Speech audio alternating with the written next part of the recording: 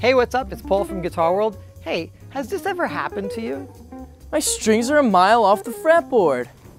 What am I gonna do? Sounds like you need a truss rod adjustment, son.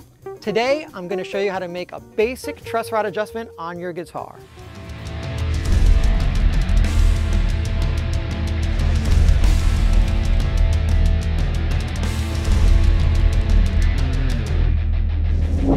First order of business is to identify whether you need a truss rod adjustment.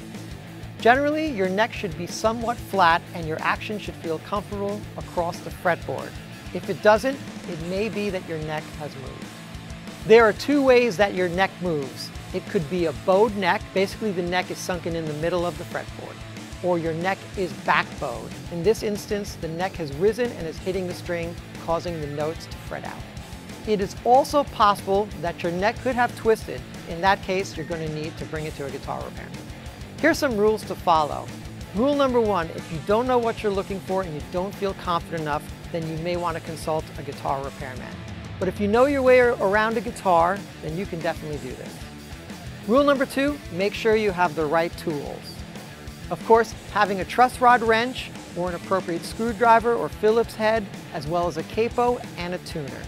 Number three, locate where the truss rod is. In most guitars, it's found at the top of the headstock, usually hidden behind a truss rod cover, or it may be open.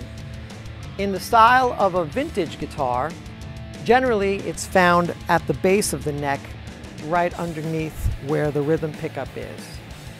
Remember this phrase when adjusting your truss rod. Righty-tighty, lefty-loosey. So you're going to want to turn tr uh, your truss rod wrench in a right hand turn to tighten, make the neck flatter. So almost, if you're looking at it this way, you're going clockwise motion in a vintage guitar, and if you're looking at it this way, on, on this particular guitar, you're still going clockwise. So righty-tighty and lefty-loosey to loosen the truss rod. Adjust in quarter turn increments, tune to pitch, and then check the action. Last but not least, and this is very important, if you run out of truss rod, especially if you're loosening it and the truss rod is spinning, or if you're tightening it and you start to hear the neck creaking and it becomes very difficult to turn, stop what you're doing. It means that you have a bigger problem and you might want to consult a guitar repair.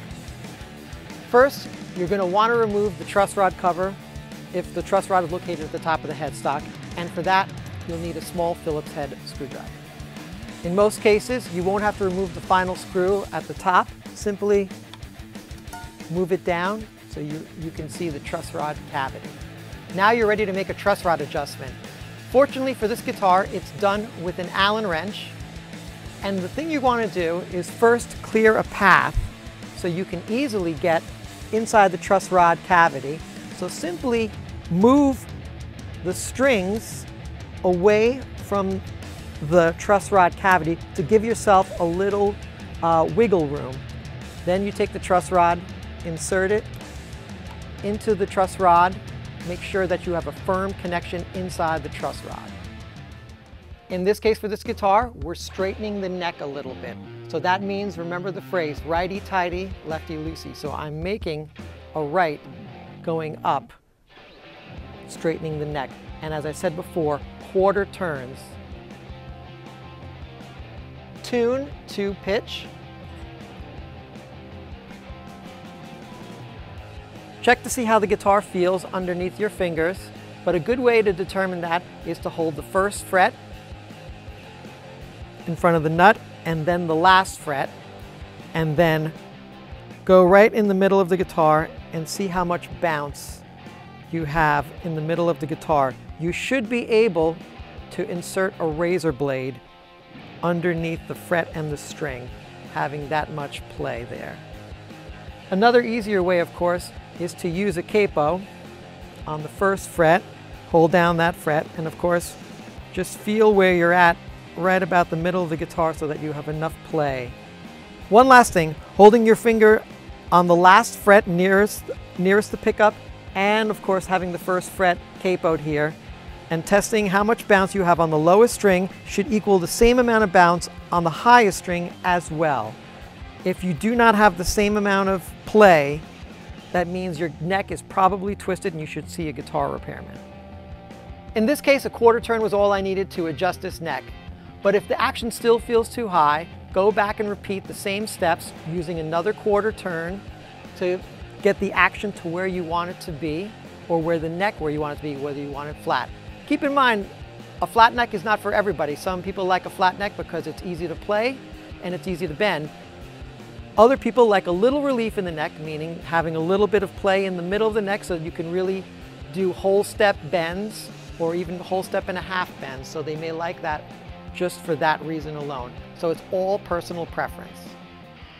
Now adjusting a neck on a vintage style guitar is a little more challenging because the truss rod is located here at the base of the neck, meaning I'll have to pop the neck, removing the four bolts. Uh, there are some tools that allow you to not do that, like this Cruz Tools uh, neck cheat tool, which allows you to get inside there. If that works, great. If not, we're gonna have to remove the neck. There are two ways of doing this. You can loosen the strings or you can keep the strings in pitch. Uh, in doing so, if you want to keep the strings in pitch, it's best to use a capo and put it on the first fret to keep the strings in place when you pop the neck. If you want to loosen the strings altogether, you can. It's just a longer, more time-consuming task. As you see, I've loosened the bolts. I'm going to flip the guitar over and basically pull the neck out like so. exposing the truss rod. And what I'm gonna do on this neck is I'm gonna straighten the neck, and as I said before, righty-tighty, lefty-loosey, so going right in a clockwise manner, I'm gonna insert the screwdriver and turn, have a quarter turn on this neck. Now that that's done, I'm gonna put the neck back in place, turn it around, and screw the neck back in. Make sure when you're turning the screws back in place, don't overturn it, just push it to where you can't go any further. Do not over tighten your neck. Once everything is back in place, remove your capo, tune to pitch, check your action, and see if it's where it's at. If not, repeat the same process using quarter turns as well. Don't forget to check your action by simply holding the first fret and the last fret and somewhere around the middle here. Check the bounce see if you have enough play. So that's it. You saw how easy it is to make an adjustment on your truss rod. It no longer has to be an intimidating process, but best of all, your guitar plays great once again. Good luck.